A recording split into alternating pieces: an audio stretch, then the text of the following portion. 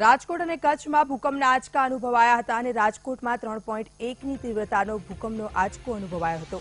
કચ્છના રાપરમાં એક પોઈન્ટ આઠની તીવ્રતાનો ભૂકંપનો આંચકો અનુભવાયો હતો.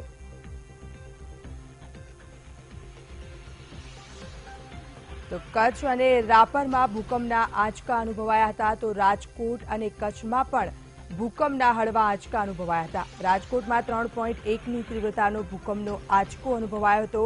તો રાપરમાં એક પોઈન્ટ આઠની તીવ્રતાનો આંચકો અનુભવાયો હતો.